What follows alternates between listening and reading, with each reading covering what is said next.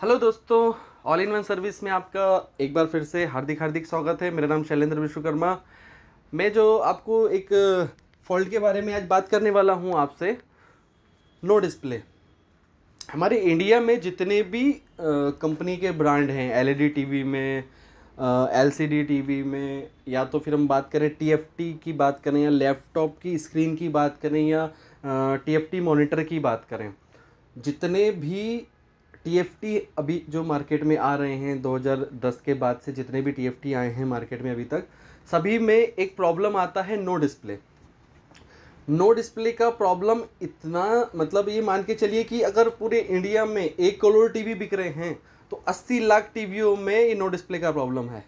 कितने समय के बाद में, किसी में तीन समय तीन साल के बाद में, किसी में चार साल के बाद में, किसी के पाँच साल के बाद में.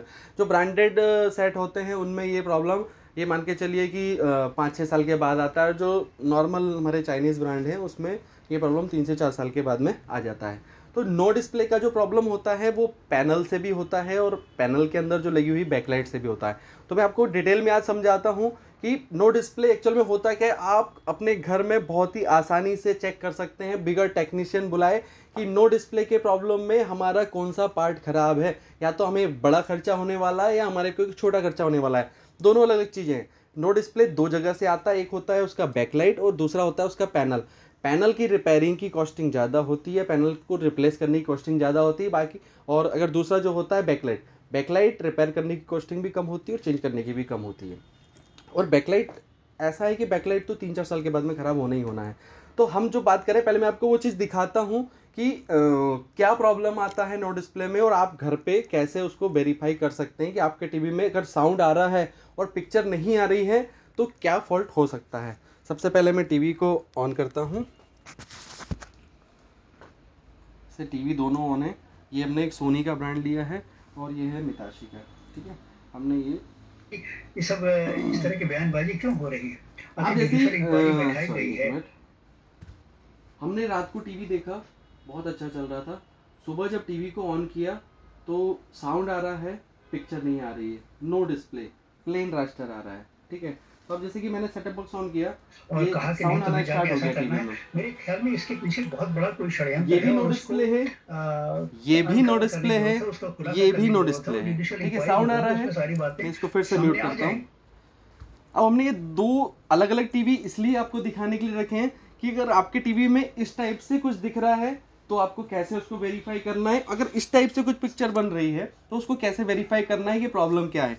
अगर ऐसा प्लेन रास्टर आ रहा है आपके टीवी में तो भी ये पैनल का प्रॉब्लम है या बैकलाइट का प्रॉब्लम है, कैसे वेरीफाई करेंगे? जो ये प्रॉब्लम है, वो इधर पे भी दिख रहा है आपको। लेकिन जो ये प्रॉब्लम है, वो आपको इधर पे नहीं दिख रहा, उधर पे नहीं दिख रहा। ठीक है? तो मेरा बोलने का मतलब ये है कि सब हम स्टार्ट करते हैं कि ये जो पैनल है सोनी का, इसको हमने दो हिस्सों में इसलिए बांटा हुआ है कि आपको वो चीज़ क्लियर दिखे। जैसे कि हमने सुबह जैसे ही टीवी ऑन किया हमें सबसे पहले ये प्रॉब्लम दिखा कि यार टीवी पे साउंड तो आ रहा है। साउंड तो आ रहा है लेकिन कुछ डिस्प्ले पे दिख नहीं रहा है। या तो इस टाइप से आपको दिखेगा या तो आपको इस टाइप से दिखेगा। दोस्तों ये प्रॉब्लम होता है पैनल का इंटरनल प्रॉब्लम पैनल में आप जैसे कि क्या होता है हम लोग जब साफ़ सफ़ाई करते हैं घर में तो कभी कभी स्क्रीन को कोलिन से साफ़ कर दिया, गीले कपड़े से साफ़ कर दिया कि हमारा टीवी साफ़ सुथरा दिखे, उसमें डस्ट न लगे। इस कारण से पैनल में मॉइस्चर आने के कारण ये प्रॉब्लम आता है। ये जो प्रॉब्लम है, ये पैनल में मॉइस्चर के कारण आता है। ये पैनल होती है आपकी। ये पैनल है। और मॉइस्चर आता है आपका इन कफ में। ये कफ आईसी लगी हुई है। इन कफ आईसी में वो प्रॉब्लम आता है, जिसके कारण डिस्प्ले आपका ऐसा हो जाता है, ठीक है? तो ये तो आपने वेरीफाई कर लिया कि ये प्रॉब्लम जो है, अगर ये वाइट आ रहा है या इस टाइप से ब्लैक आ रहा है, ठीक है? तो हमें घर में अगर इस टाइप से ब्लैक आ रहा है या इस टाइप से ब्लैक आ रहा है तो आप थोड़ा सा जैसे इस पर उंगली रखेंगे ना तो आपको ये वाइट वाइट दिखेगा। या फिर आप जैसे ही देखेंगे तो इस टाइप से वाइट दिखेगा। तो आपको हल्की सी रोशनी जैसे टीवी ऑन करेंगे हल्की सी रोशनी दिखेगी। रोशनी दिखने का मतलब है कि आपका बैकलाइट का प्रॉब्लम नहीं है। और रोशनी नहीं दिखने का मतलब है दूसरे वाले टीवी पे दिखाता हूँ। ये टीवी देखिए। अब मैंने इसमें क्या किया है कि ये सेट ऑन है। साउंड आ रहा है? ये सेट ऑन है। मैं इसको फिर से म्यूट करता हूँ। सेट ऑन है। अब हमें तो कुछ अभी दिख ही नहीं रहा है। ये पैनल का प्रॉब्लम है जैसे हमने वेरीफाई किया कि पैनल का प्रॉब्लम है। लेकिन बैकलाइट का प्रॉब्लम है ये कैसे वेरीफाई करना है? आपके टीवी में डिस्प्ले में कुछ नहीं दिख रहा है आपको साउंड आ रहा है। तो हमें क्या करना है? या तो आपको मोबाइल का टॉर्च ऑन करना है और इसको यूँ लगा कर देखना है। जैसे कि ये। करते हैं? इसको यूँ लगा के भी देख सकते हैं या तो फिर। दूसरा ऑप्शन बताता हूँ। मैंने इसमें बैकलाइट का स्ट्रिप लगा के इसको पैक कर दिया है आपको डेमो देने के लिए। अब जैसे ही मैं इसको ऑन करूँगा ये देखिए। डिस्प्ले दिख रहा है आपको यहाँ पे? ये न्यूज़ चल रहा है यहाँ पे। ये देखिए डिस्प्ले दिख रहा है। तो अब इसमें हमें ये वेरीफाई हुआ कि भाई हमारे देखो डिस्प्ले तो पूरा आ रहा है, लेकिन डिस्प्ले पे रोशनी नहीं है। रोशनी नहीं है, इसका मतलब रोशनी कैसे आती है? उसके बैकलाइट से। अगर बैकलाइट पे रोशनी नहीं आएगी तो पूरा पिक्चर ब्लैंक दिखेगा। और साउंड आता हैं बंदूक से मार के चले जाते हैं पुलिस। कस्टडी में है चारों तरफ़ पुलिस है अब जैसे कि तीन आते हैं। हमने इसको भी तो ऑफ़ कर दिया। अब इसको हम म्यूट कर देते हैं। अब जैसे ही हम ये लाइट बंद करेंगे तो हमें वो कुछ नहीं दिखने वाला डिस्प्ले पे। अब आपको ये सब लगाने की ज़रूरत नहीं मैंने आपको डेमो क्या कैमरे में दिख नहीं पा रहा था वो चीज़ जो आपको समझानी है इसलिए मैंने उसमें ये अलग से स्टिप लगाया। आपको नॉर्मल तरीके से मोबाइल की टॉर्च ऑन करनी है टीवी चालू करनी है टीवी में साउंड आ रहा है तो आप कहीं ना कहीं देखेंगे आपको हल्की सी पिक्चर का इमेज बनता हुआ दिखेगा। इसका मतलब ये है कि आपका बैकलाइट खराब है, आपका पैनल ओके है। मतलब आपको कोई बड़ा खर्चा नहीं छोटा सा खर्चा है, जो जनरल सभी कंपनियों के मॉडलों में आता है, सभी टीवी में चार से पाँच साल के बाद में बैकलाइट की दिक्कत आती है। और नॉर्मली उसे रिपेयर करा सकते हैं, उसके लिए टीवी चेंज करने की ज़रूरत नहीं पड़ती है। हाँ अगर पैनल खराब होता है, इस तरीके से ये सब ब्लैंक हो गया है या वाइट डिस्प्ले हो गया है, ये भी रिपेयर हो जाते हैं। आजकल क्या है भारत में भी बॉन्डिंग मशीन वगैरह सब लोग सभी अवेलेबल है हमारे पास में भी बॉन्डिंग मशीन है।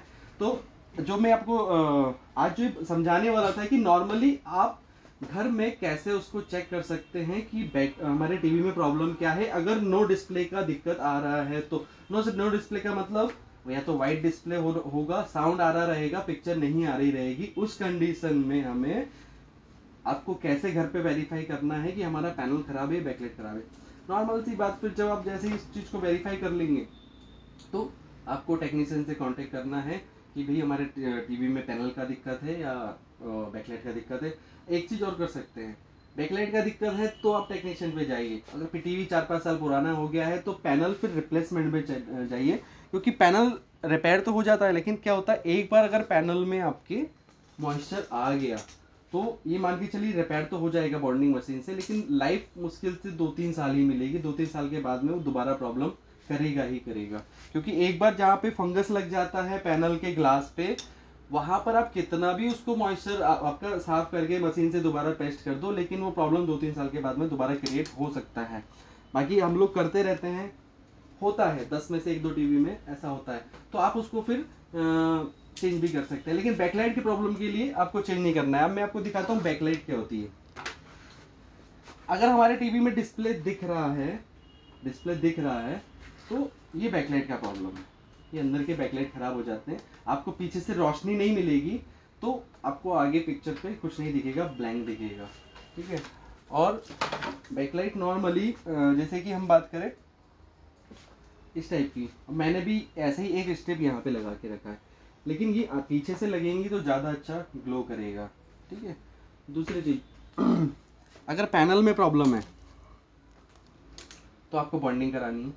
बॉन्डिंग नहीं करानी है तो भी एक ऑप्शन और बता रहा हूँ। आजकल मार्केट में पैनल भी अवेलेबल है। सभी कंपनी के अवेलेबल है एल जी सैमसंग बी और ए के पैनल सभी कंपनी के पैनल अवेलेबल है। तो पैनल चेंज कराना ज़्यादा ठीक रहता है। या तो आप पैनल चेंज करा सकते हैं या बैकलाइट रिप्लेस करा सकते हैं, ठीक? अब मैंने जो आपको ये दोनों चीज़ें बताई कि नो डिस्प्ले में दो तरीके से प्रॉब्लम आ सकता है बैकलाइट का भी आ सकता है पैनल का भी आ सकता है। अब मैं आपको अलग अलग अपने नेक्स्ट वीडियो में पार्ट वन में बैकलाइट के बारे में पूरा आपको डिटेल में समझाऊँगा, जैसे कि ये बैकलाइट है। बैकलाइट कैसे रिपेयर होता है? आप घर में उसको खोल सकते हैं, क्या प्रोटेक्शन के साथ खोल सकते हैं, ये मैं आपको अपने नेक्स्ट वीडियो पार्ट वन में बताऊँगा। और ये जो पैनल है इसकी बॉन्डिंग कैसे होती है? ये कफ कैसे निकलती है? ये ग्लास पे कैसे पेस्ट होती है? और इससे नो डिस्प्ले क्यों होता है? उसकी जानकारी में भी आपको डिटेल में बताऊँगा अपने पार्ट टू वीडियो में। पार्ट वन में आपको दिखाऊँगा बैकलाइट पूरा और पार्ट टू में आपको दिखाऊँगा पूरा पैनल की ब्लैंक क्यों आता है। और उसका पूरा प्रोसेस बताऊँगा कि ब्लैंक क्यों आया, कितने वोल्टेज कहाँ आने चाहिए। और हम मशीन से जब उसको रिपेयर कर लेते हैं तो उसमें हमें क्या प्रोटेक्शन रखने हैं? सारी चीज़ें मैं आपको डिटेल में बताऊँगा। अगर आपको वीडियो अच्छा लगा है तो लाइक करें, कमेंट करें, सब्सक्राइब करें और शेयर करें। मिलते हैं नेक्स्ट वीडियो में। Bye bye